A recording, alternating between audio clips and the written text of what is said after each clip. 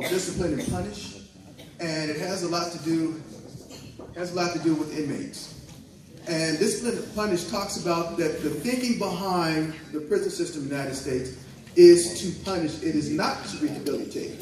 So the thinking behind it, that those have been convicted and who are either in jail or in prison, that the reason why services aren't provided to them is that they're not supposed to be getting services. They're supposed to be being punished. And that's the whole concept. I'm not saying I agree or disagree, but that's the thinking. And true rehabilitation is actually supposed to start until they finished their time of punishment. Right? So that brings a really interesting question about the word inmate. And if people are inmates, are, are you no longer citizens? Are you uh, are you still considered human? Um, is there anything about the word inmate and, and how that applies to prison someone that you might like to talk to uh, about, Mr. Reed?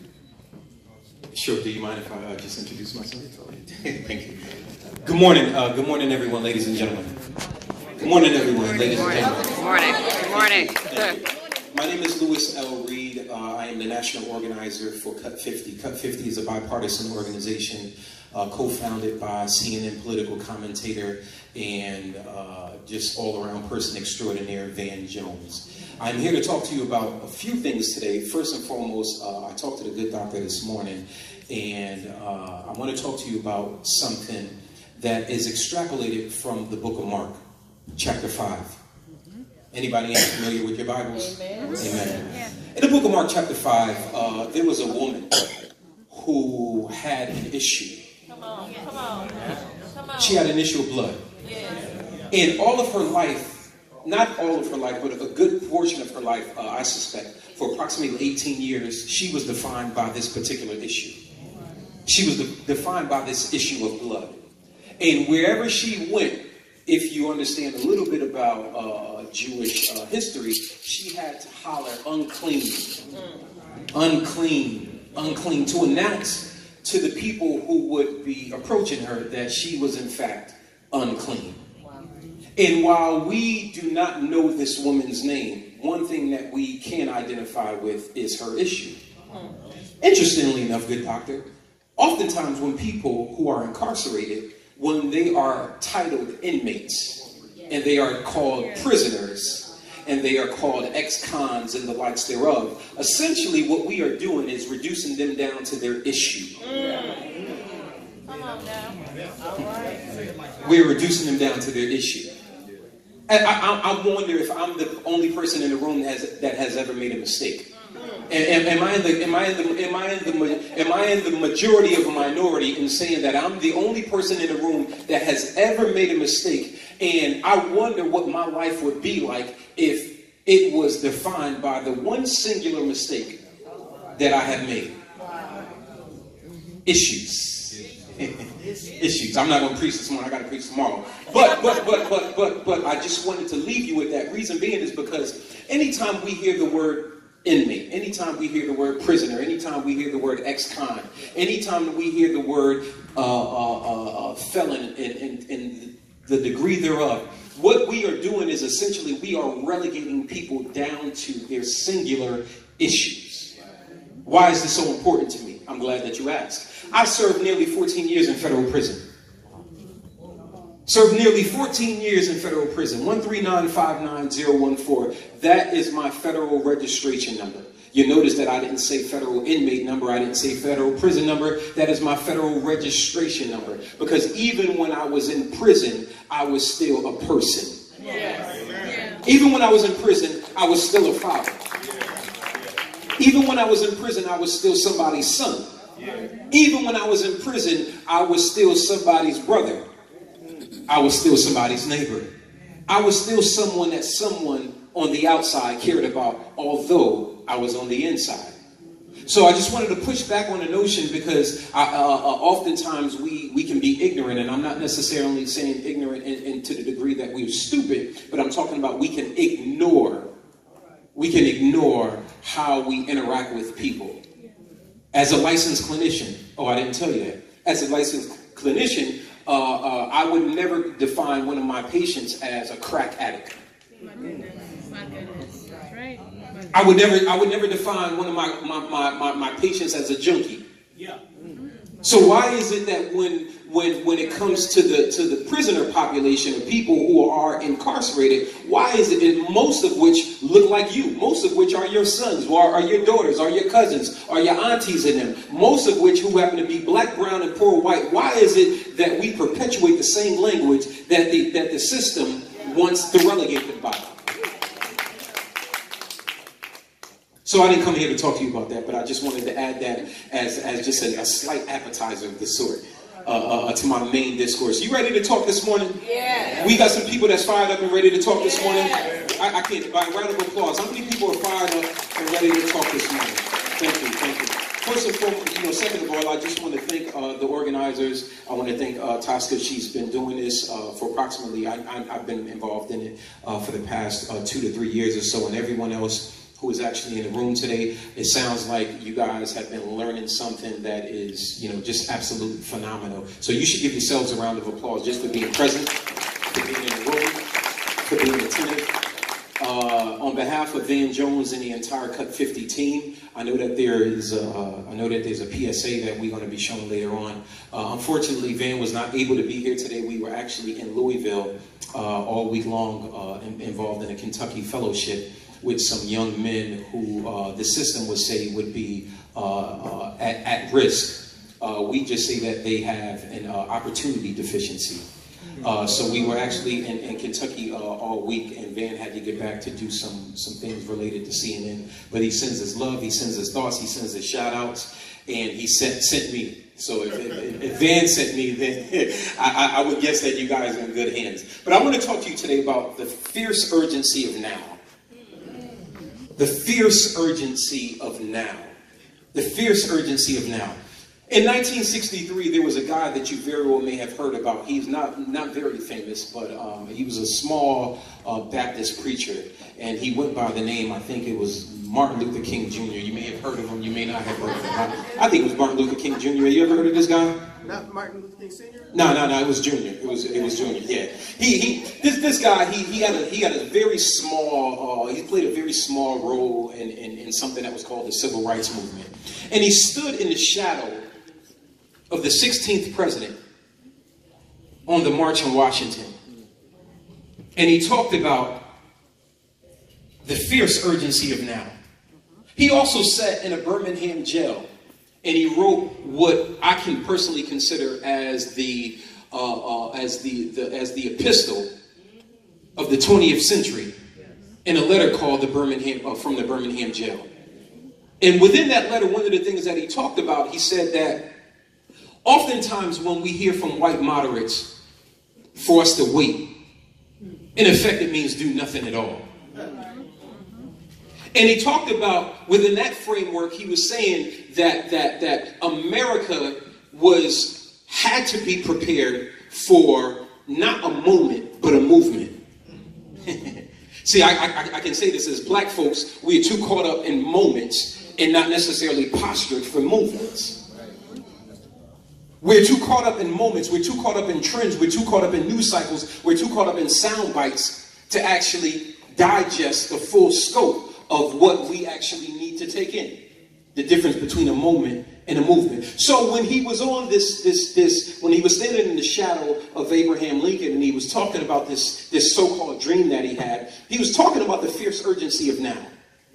And he was talking about how America had to wake up from its, its sleep apnea of the sort. And he was talking about how America needed to take notice to its citizens who have been disenfranchised. I'm here today in the 21st century after having served 14 years uh, in federal prison to tell you that there is still a fierce urgency of now.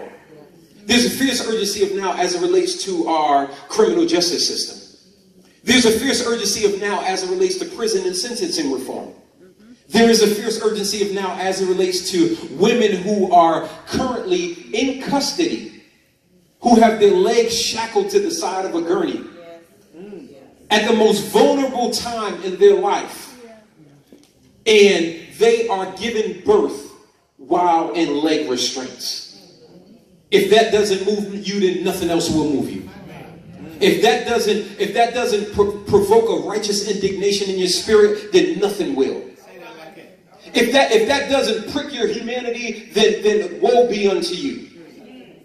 There is no way in the United States of America that we should be sending women who are pregnant to, uh, uh, uh, to prison, not, not necessarily for the crimes that they committed, but for them to be punished and have their legs strapped to the side of a gurney and be shackled and given birth while they are in shackles. There's no way in the United States of America that we should sanction that, and as tax-paying citizens, that we should allow it. There is a fierce,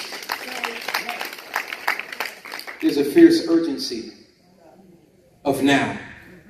There's a fierce urgency of now because we are allowing people to be released from our federal prison systems without an identification card. Quick story: When after I after I, uh, when I was released uh, after nearly 14 years in federal prison, I literally had to take my identification card. It said it said Louis L. Reed, and it said uh, uh, uh prison number, uh, and it had 1395914, and I stuck it at the bottom of my shoe at the risk of if I would have gotten caught, it would have jeopardized my release. But I wanted something to identify me. Good doctor, I wanted something that, that even, even if it was an, a so-called inmate identification card, I wanted something that when I was on the bus and when I went back to society, I could say, hey, at least I have a picture and the federal government said that this is who I am. So I'm hoping that you will accept who I am. But there's a fierce urgency of now because there's no way that we should be allowing people to go back into society without giving them uh, access to basic literacy, without access to effective programs, without access to vocational training. There is a fierce urgency of now. There are approximately 16,000 people in our federal prison system who are currently waitlisted for basic literacy.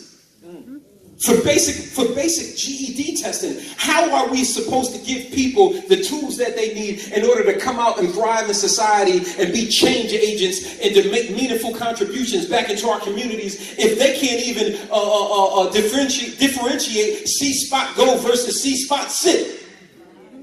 There's a fierce urgency of now. Most of these people are coming back into your congregations. whether you realize it or not.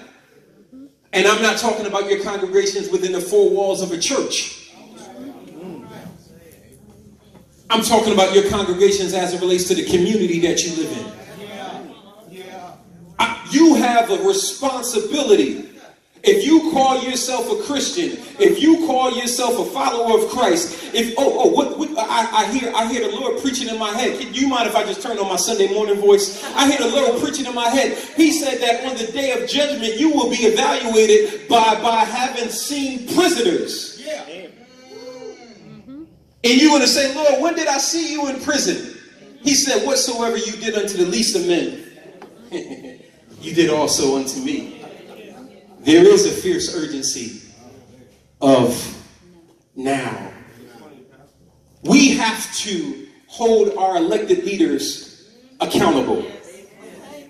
But before we hold our elected leaders accountable, we have to be responsible we have to be responsible to the men and women who are returning back into our communities and give them resources. We have to be responsible that if they do write a letter to our congregations, that if we are connected with them, that we respond in kind. We have to be responsible. Because whatsoever you do unto the least of them, you did also unto him. Capital H I N. There is a fierce urgency of now. So I want to talk to you about a, a, a particular piece of legislation which is called the First Step Act. The First Step Act. In May of this year, we introduced Cut 50 and other interested organizations, approximately 150 nationwide. We introduced a bill that was sponsored and written by Representative Hakeem Jeffries and also Doug Collins.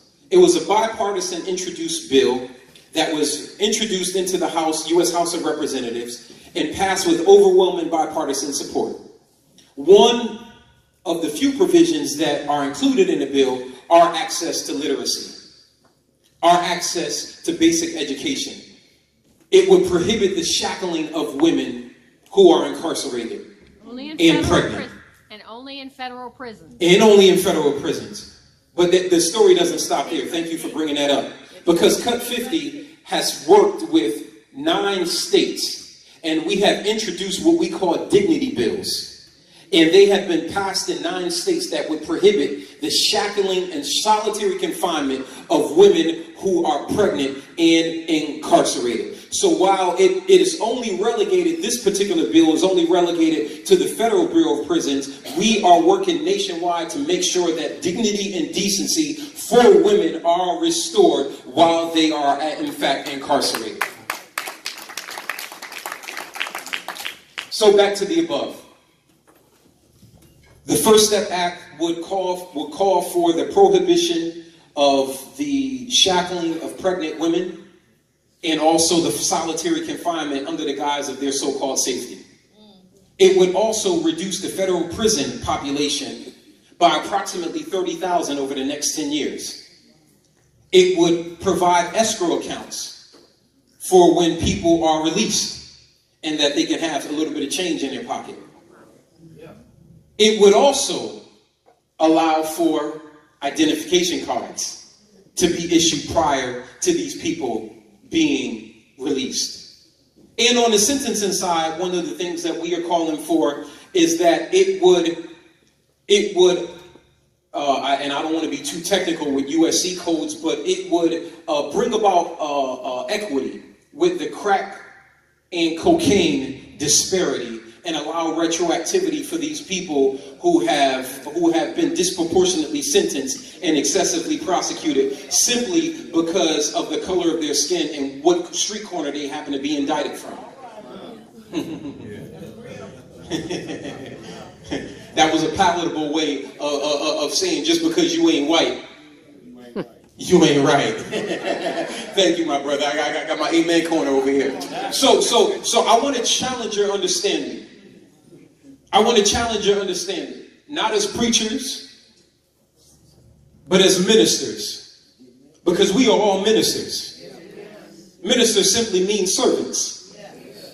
And if you are to serve your community, if you are to serve Christ, if we are to serve one another, then we cannot forget about those who are disenfranchised. We cannot forget about those who are disproportionately impacted. We can't forget about those who are excessively prosecuted. I live by a simple creed. Those who are closest to the problem are closest to the solution, but furthest from resources and power. Let me say that again in the event that you missed it and you want to write it down. Those who are closest to the problem are closest to the solution, but furthest from resources and power. So, how do we hold our elected officials accountable? Your voices have to be heard. Your voices have to be heard. I talked about the First Step Act. You can go to firststepact.org forward slash action. You can tweet, you can send a letter to your respective elective elected officials and or you can make a place a phone call within approximately 30 seconds we leave you without excuse we leave you without excuse all you have to go in and you fill in the populated uh, populated fields and it will literally send a letter on your behalf it will literally send out a tweet on your behalf. It will literally, once you press it, once you press the call now button, your, your, your phone will ring. And if it's the weekend, it'll say, we'll call you back Monday morning, first thing at 9 o'clock to remind you. We leave you without excuse. So in closing, because I know I'm boring you, uh, I just want to tell you this. I want to tell you this. I came all the way from Connecticut. I know that you think that there's a whole bunch of white picket fences and manicure lawns in Connecticut, but I'm from Bridgeport, Connecticut. Bridgeport is the Brooklyn of New York. It's the Chicago of Illinois. It's the Compton of Los uh, of California. It's the Memphis of Tennessee. So I haven't seen many manicure lawns where I'm from. I've seen a whole bunch of projects and a whole bunch of people getting shot, but I ain't seen many manicure lawns where I'm from. I came all the way from Bridgeport, Connecticut to tell you that there's a fierce urgency of now. And woe be unto you if you sit in a room full of knowledge, full of impartation, full of stimulation, and you take no action. Thank you for your time.